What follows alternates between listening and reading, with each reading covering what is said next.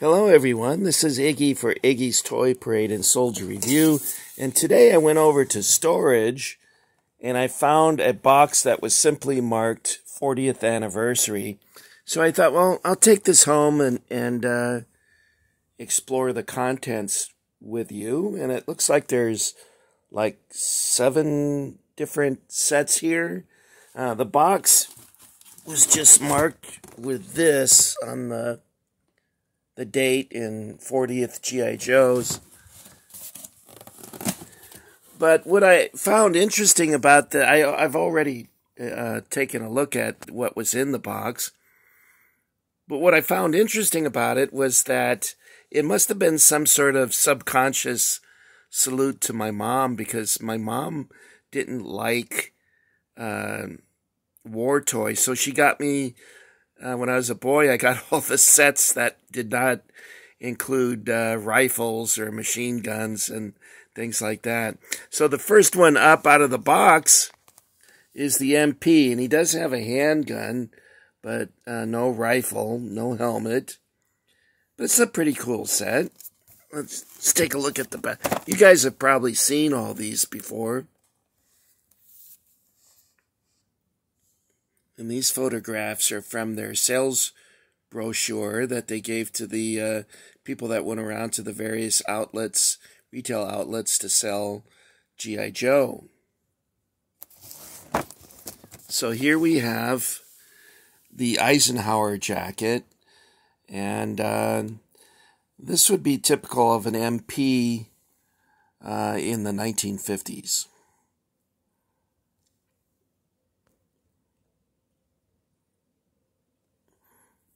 Okay.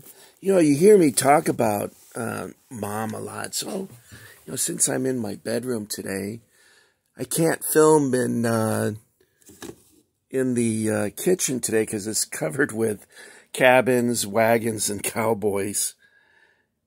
Now, there's mom and dad. I think this was taken. Uh, um, gosh, when was this taken? I think in the 1950s, like 1959. So that's mom and dad. And here's a mom, my mom towards the end of her life. And that's uh, Kelly, my beloved dog. She passed away in 2013. Uh, mom passed away in uh, 2004 in January. And dad passed away in 1989 on April 30th. And everyone says I look like my dad. That, you know, that's so if you want to know what Iggy looks like, there you go. There's Iggy. That's my dad. Oh, uh, here's a picture of my dad when he was in the army during World War II. He's a handsome guy. Anyway, that's I'm just a little side trip there. So this one is the MP Okay? And that's set number five in the series. And you could get an MP helmet, which came in a later set, and I'll show you that uh, towards the end of this video. All right, the next one up is the Medic.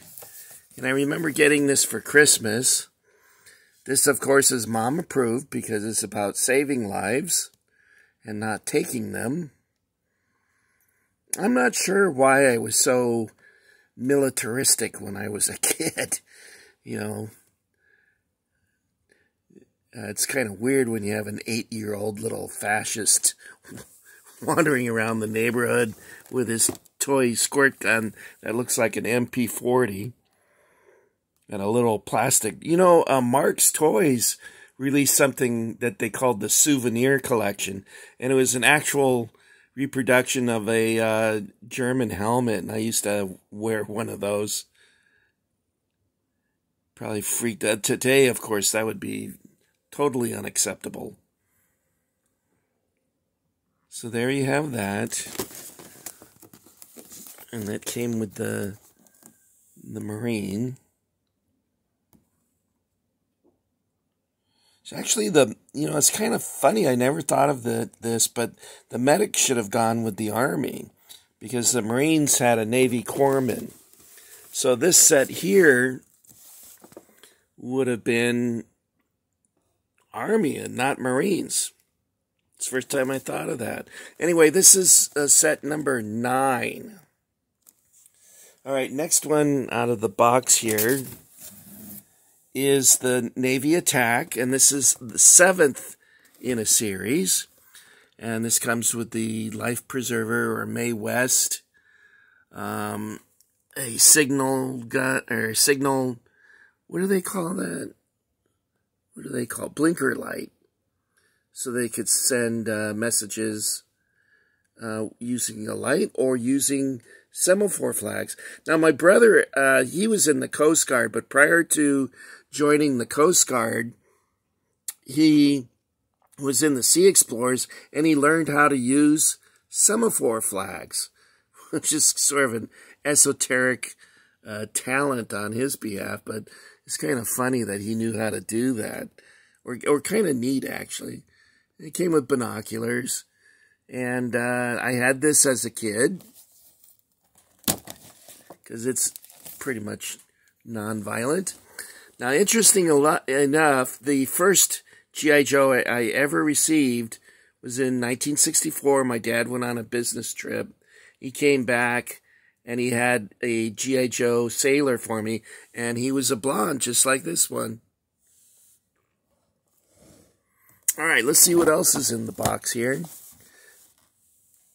You guys have seen all these before, so you're, it's nothing new here. Now, this is a, a hard set to get uh, this was not released to the toy stores because Hasbro dropped the uh, the line. They lost interest in it,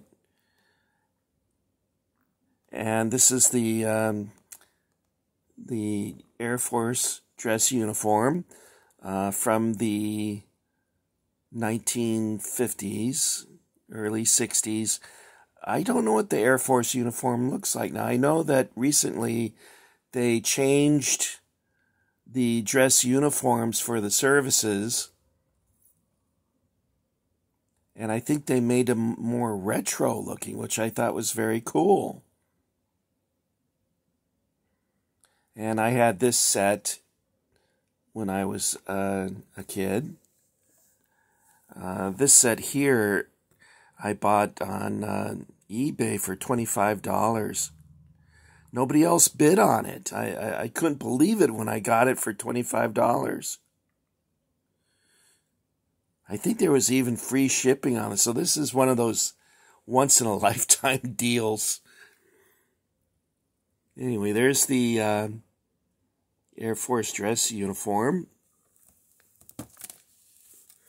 I only have one of these in the 40th line. Most of the 40th anniversary figures I I have either two or three sets.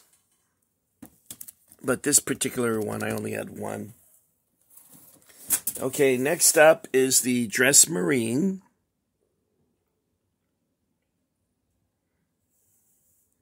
Some light reflection. You know, the cellophane makes it really difficult to film. I had this when I was a kid. And uh, the only G.I. Joe picture I have surviving from the 1960s is a picture of my G.I. Joe standing at attention with his rifle. And uh, it's the only one that survived from all those years ago. So it's a pretty cool set. Mom got me that for Christmas. And let's see what's next. Okay, now we're getting into. Let's see, let's try this one. Uh, this is definitely not mom approved because you got the uh, 30 caliber machine gun there. I remember one of my brother's uh, friends who had served in the army came over and he saw my uh, um, GI Joes. Now I did get a 30 caliber machine gun at the very end of GI Joe years. It was on clearance at Woolworths, and I think I got it for like 30 cents or 50 cents or something like that. Is unbelievably cheap. Um, I never got the MP helmet. I had a Shore Patrol helmet that I used for my MP, which is kind of funny. An MP with a Shore Patrol helmet. Pardon me. I did get some sandbags uh, at Woolworths when I bought the clearance items, and I bought a uh, rifle and cartridge belt. I bought a helmet, and I bought some carded German equipment. And I still, of course, have all those things. And I was going to go back to Woolworths when I got my allowance the next week, and it was all gone. Every and there was like a ton of it, and it was all gone. Not even a piece of lint. So sometimes when you see something, you gotta grab it right away. Okay, this is the last one, guys. And this one is, uh, I got it upside down. This is Beachhead Assault, and it's eighth in a series. And this is a really nice set because you get the cartridge belt, the rifle, the pack, the um, e-tool, canteen, and grenades. The only thing you're missing is the helmet. And I think I did a video on where you can get helmets because if you buy the 40th anniversary sets, you'll notice that uh, they only issued a helmet. Well, for instance, um, with the Army, they released the helmet in the exclusive Footlocker from Target. And then they released a helmet in, I think, set number 23, which was never released to retailers and was part of the uh, G.I. Joe Collectors Club and uh, it was pretty expensive. But uh, you still can get helmets from Cotswold Collectibles. So if you have this set, you can buy a helmet from Cotswold Collectibles. So this is a really nice set, set number eight. And I think I have a couple of these as well. We'll show you. Oh, he's a redhead. My uh, G.I. Joe uh, soldier was a redhead and that's the one I played with the most.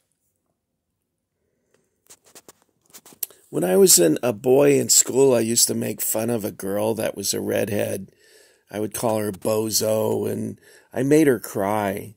And her mom shook me by the shoulders and said, What's wrong with you? Are you an evil little boy? And uh, I apologized. I think her name was Marcia. And I apologized to her. But karma has a funny way. No, it's not karma. Uh, it could be God has a funny sense of humor. Because years later, I fell madly in love with this girl who had hair this color. And oh my God, did she rip my heart out. I mean, that's an understatement. Okay, that's all I got for you on this one. I, just, I wanted to make this one quick because uh, you guys have seen all this before. The next one I'm going to do will be uh, Toy Soldiers again. I'm not going to do the Western one quite yet. I think I'm going to follow up with uh, the Revolutionary War. Um, there is one other thing I wanted to mention to you is that I've noticed that there seems to be some hostility towards uh, toy soldier collecting. For instance, when I uh, talked about my uh, YouTube page at with this woman at work, she became furious at me and started yelling. I'm not kidding. She was like yelling at me, like, "Ah, that's horrible! Why would you do that? It's horrible!" And I'm like, calm down. I mean, people collect coins, people collect a lot of different things. And uh, she thought it was childish and stupid. And so I was uh, talking to my friend John on the phone, and uh, he said that his wife is not too cool with these kinds of things, so he doesn't collect. And um, I called my friend Doug, and he said his wife likes it best when he sells the stuff. Uh, she didn't give him too much grief about it, but she does like it when he sells it off. Um, I think I shared a story when I went into uh, Toys R Us and a woman contacted management, and I had a manager and three employees. Uh, they wanted to escort me out of the building because they said that uh, there was a complaint that I was bothering people. All I was doing is looking at G.I. Joes. Anyway, I hope you guys are not being bothered like that. Everyone should be free to collect what they like and not worry about uh, judgmental people. That's all I got for you today, guys. Thank you for getting Iggy with it, and I'll have another video for you very soon. Thank you for my recent subscribers. Uh, I appreciate you uh, signing up, and I hope to have a lot of content for you in the near future. Thanks, guys. Take care.